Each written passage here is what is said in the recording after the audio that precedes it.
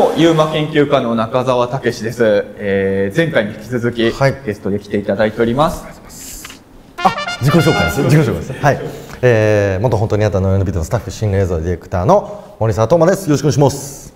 前回に続き、千葉テレビ匠の教室の番組の収録後に、そのまま YouTube の撮影をしてもらっているという、非常に贅沢なことをやらせていただきます。いつもあの、スマホ1個でやってるんですよ。はい。ああ、そうなんですね。こんなカメラ、え、カメラ、え、5台4台ですね。4台も作ってるはいっていうのはすみません。衝撃的なありがとうございますでも編集する人だけ素人なんですよこんなにプロで囲んでるので編集は観光欲なんでじゃあ、うまく調理してください。全ては編集でもうう。ガラッと結局いつもの完成度になっちゃったら怖いなと思ってるんですけど素材だけはいいはずなんですよ今回はい。頑張ってください。お願いします。前回の森沢さんには来ていただいて、まあちょっとい2本出てもらおうって話になった時、1本目はもう何も考えずにちょっとフリーであり思今思ったことを語り合おうっていうことにした結果、えー、48が出てるドラマをもっと注目してくださいっていう結論に 達したんですけれど。48のホラー作品とか作品とか、めっちゃいいのいっぱいあるよ。あと僕脚本書きたいんでもし関係者の方見てたら48甲子園のホラードラマよろしくお願いしますって感じなんですけど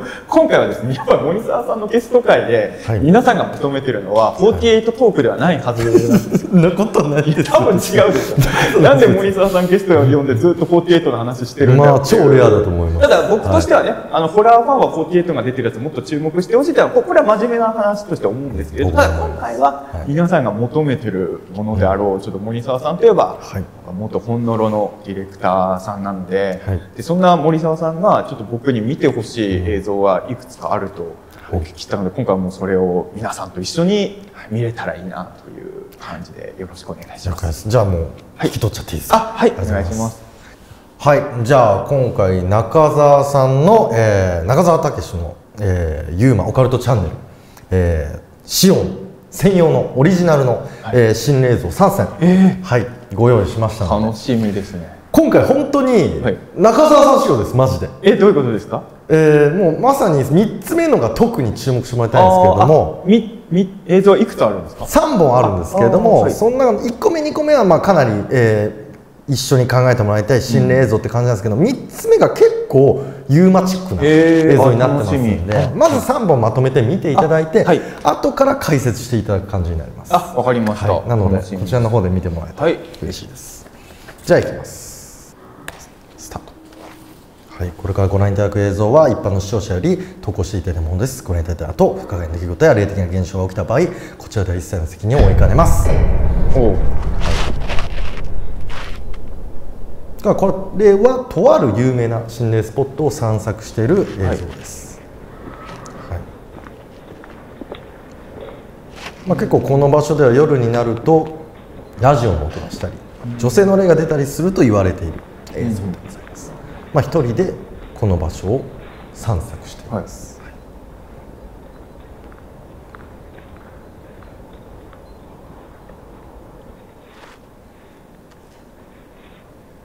墓地ですね、はい今幽霊が映りました。え、もう映ったんですか？はい映りまし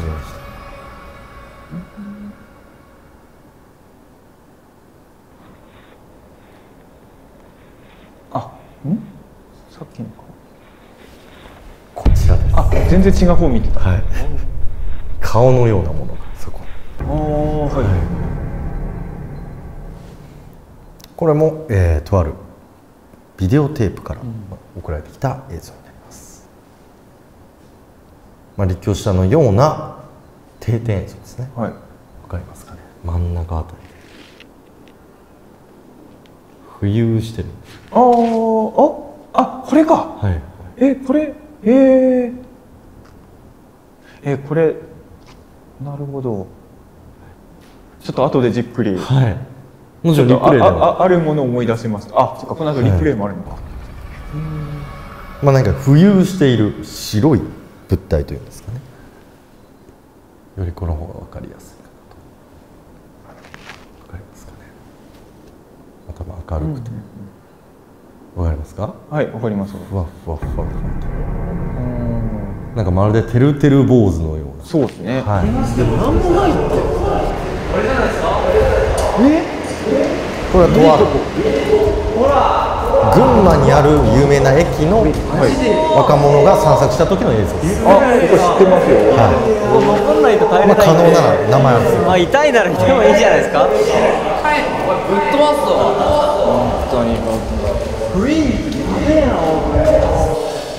本この時間に。電車って通ってんのいやないはずですよこの時間は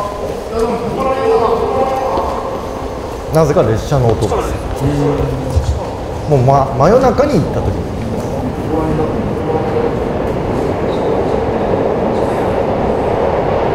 電車っぽい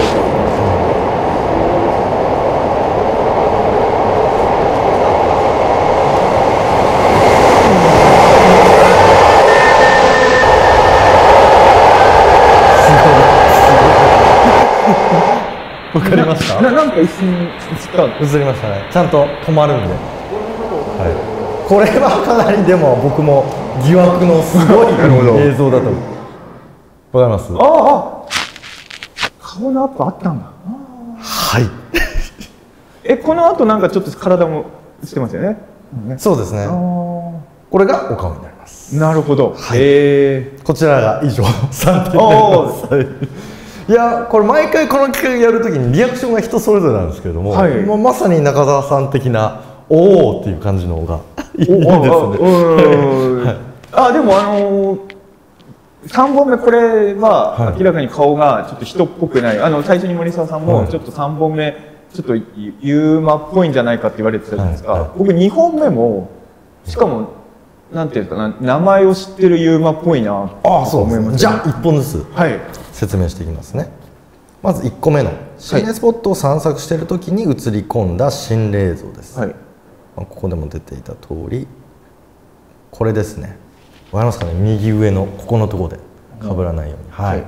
あそこに女性のようなシルエットがここに出てるんですよ、うんそれがちょっと佇んでいるというイメージです、で一応背景を説明すると3年前に事務所宛てに送られてきた投稿映像住所も氏名も無記名でただただこのスポットを探索した映像でその中で自身が発見した霊障と思われる存在。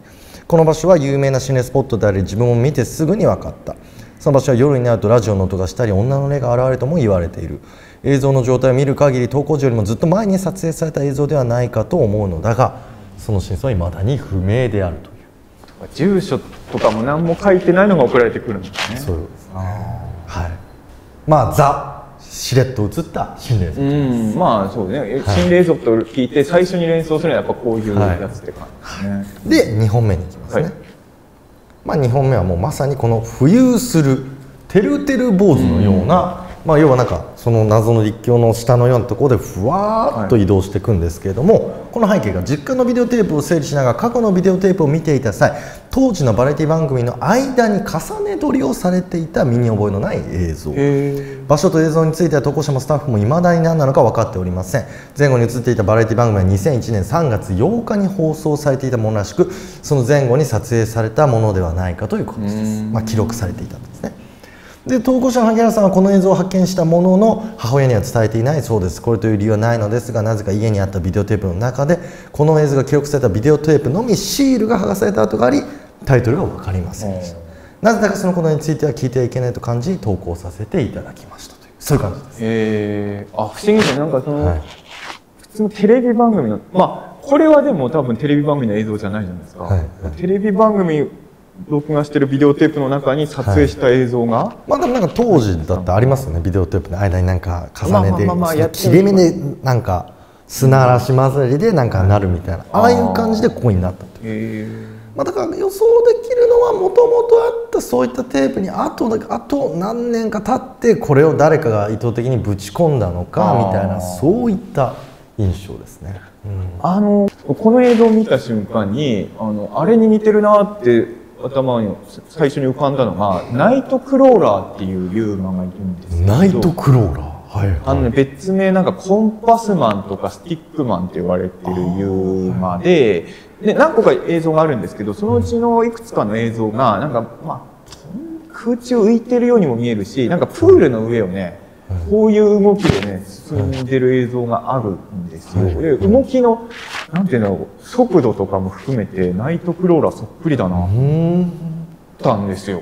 じゃあこれはもしかしたらもうなんかこの場をさまよう霊的な亡霊みたいなものではなく、ナイトクローラーの可能性も出てくるってことですね。まあナイトクローラーが例なのかもしれないですけどね、はい。結局ナイトクローラーも、はい。まあオカルト本の中ではユーマコーナーに載ってるんですけど、はい。まあもともとは現地に伝わる精霊の名前なんですよ。はい。だからその妖怪とか精霊的な存在だとも言われているので、はい。まあだとしたらね霊的なものをまあその誰がこのこの映像を見る人によって解釈が分かれると思うんですけど、霊だと解釈する人もいるし僕みたいな人がこの映像急に送られてきたら、これナイトクローラーっぽくないですかっていう映像だなとは思いました。うじゃあ早速はい3本目に行こうと思います。これやっぱ一番ただ僕一個思ったのは、はい森澤さんはこれは疑惑とか言っていいんですね。はい、全然いいです。僕、あ、これなんか負け僕言ってるんですけども、はい僕に送られてきてなんか調査が行き届いてないものに関しては全部、えー本物かどうか僕は分かりません。んでも調査はしますで、その上で、えー皆さんとこれがどうなのかっていうのを審議して話そうっていうスタンスなんで、うんなので全然なんか嘘っぽかったら嘘っぽかったでら自分でもこれ嘘っぽいなって言えるはいんで多分これだとちょっと見にくいかもわかんないです。こっちで見たらどうですかね？全そうですね。こっちに見た方が分かりやすいでね。ですすよね。ああ、なるほど。確かにこうしてみるともう完全に怪物ですね。あーへえ。でなんかやっぱ地底人的な感じで僕はこれをちょっと捉えていて、はい。一応この場所の背景説明しますとね、はい。えーまあ上下ホームなど高低差などの有名な、まあ、無人駅があってそこを、えーまあ、有名なところだということでここを訪れた若者たちの映像です。でその場所では、まあ、山岳の霊が現れると言われていてまあ、映像に映る場所っていうのはこの近くの山っていうのは、まあ、ある意味で魔の山とか、人食い山って言われたんですね。でなぜかというとその場所が結構世界的にもかなり山岳で亡くなった人の数が異常に多い場所なんですよ。だからこの場所で出てきたこれはまあ地底人というふうなルックがすごい感じもあるんですけれども、もしかするとそこで亡くなった山岳の方々の亡霊なのか何かなのかなという憶測で僕は見ております。まあ。これあれですよね、はい。以前森澤さんがはい。僕のチャンネルでゲストに来てくれた時にお話ししていた群馬の駅に出る、その通りです。あのスキンウォーカーにそっくりの。えー、あれですね。違います。エイリアンニボーン。ューボーン。あ間違った。ニューボーンか、はい。ニューボーン。そうなんです。これでももともと話でも聞いていてなおかつこの映像も送られてきてたんですだから言語でそういう噂があって。そうなんだ。そうなんへでかつこの映像もでもこれ多分もう5年ぐらい前の映像なんですけれども、だから捉えてるのはもう多分6年ぐらい前になってくると思うんですけども、ん。その時の映像です。へえでもまあなんかそんなこんなもう霊っていうにはもう実体的すぎるし、僕もこれ見たら霊とはあんま言わないですよね、うん。だから今回これをわざと持ってきたのは、はいこれユーマ的視点なら何なんだろうっていう。あこれ逆にもう外しちゃおう。ーでもやっぱもう地底人に。逆に多分なんかもうねまこう見てもらう。はい。はい。あこっちの方がね全然見やすかったんで。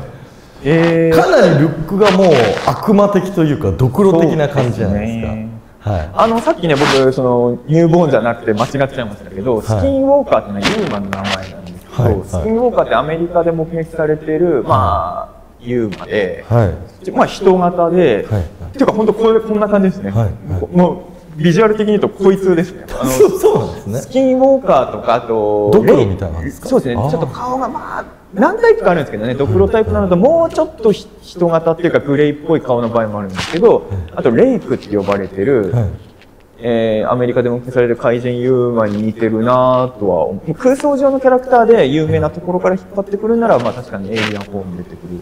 そう。なんですねけどうん。うん。だからその僕の知ってるもので言われ自体はもっと昔で聞かれてたらしくて、この映像自体はその5年ぐらい前のものなんでなんか長くからそういうふうな言われはある。その森澤さんの疑惑を持った疑惑も持ってる視点で言うともともと群馬でこういう話が伝わっていて、はい。それを元ネタに誰か作っちゃったんじゃないかっていう疑それ大々ありえます。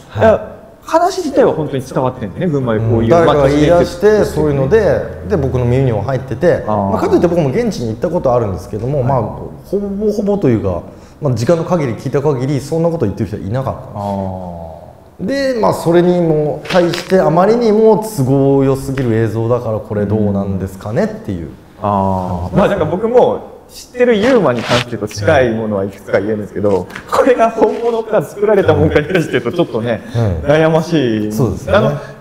でもまあとリリアクションがちょっとやっぱお世話に臭いなと思っちゃって。でもなんかこれを見て何と捉えてくくれるのかっていうのを聞いてみた。の、ユーマで言うとスキンウォーカーとかレイク系ですね。あのね、あの、皆さん、スキンウォーカーとかレイクって聞いても頭に絵浮かんでないと思うんですけれど、あの、本当にね、まあ、もうちょっと有名なユーマで言うとドーバーデーモンっていうのがいて、まあ、これも普通の人は頭思い浮かばないんですけど、ドーバーデーモンもちょっとグレーっぽいので長い手足を持ってるやつなんですけど、頭が結構でかかったんですよ。はい。でもスキンウォーカーとかレイクは頭部が僕ら人間とあんま変わんないサイズもしくはもっとちっちゃいぐらいの場合が多くて、はい。で本当どっちかっていうと皮膚が白とか灰色っぽくて、本当になんか灰出てあんま直立歩行じゃなくてこう灰出る感じでその辺もなんか似てるなぁとは。まあなんか結構見てた人たちが多分今言ったワードわからないから、ルックを見ただけで地底人だとか、うん。でまあエイリアン4見てたような人はニューボーンだっていうことを言うけれどあものこれを見てあのスキンウォーカーだってやつはマニアなんでただの言う。普通の人はスキンウォーカーを見てもスキンウォーカーだって言えないんですよね、スキンウォーカーの知名度が、まあ、日本では少なくともあんまないんで、